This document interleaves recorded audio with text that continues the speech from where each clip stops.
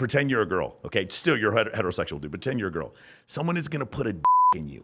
Ugh, ugh. Someone's gonna put a penis in you. How perfect would they have to be? How good would you have to feel before a could put a penis inside of you, right? And they're like, no, you just think you're gonna be a fucking slob and with messed up teeth and go up and just grab her inappropriately. Oh, of course, she doesn't want to have with you, bro. Just imagine what that experience must. Oh God! But again, no, the, the, no shame to any of my my clients who are homosexual. That's not it. Obviously, for you, it would be a different experience. But for me, eh, as a man, I'm like I'm trying to re- relate. You know, the reason why when I have a threesome, we don't invite another guys because guys are gross. They're f***ing gross, and I don't want another in the room because uh, so so that's the whole thing right? So when i say that when i say that to dudes i'm like now just imagine you're a woman like that. How high would your standards have to be? You guys want a short-term sexual partner with some playboy model and she has a choice of any dude she wants and she's gonna pick you?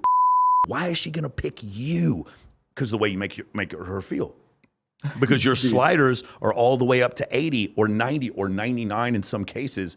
Those slider those attributes are up there but you can't have all these he's good looking he's rich he's tall and his breath smells like gross like sulfur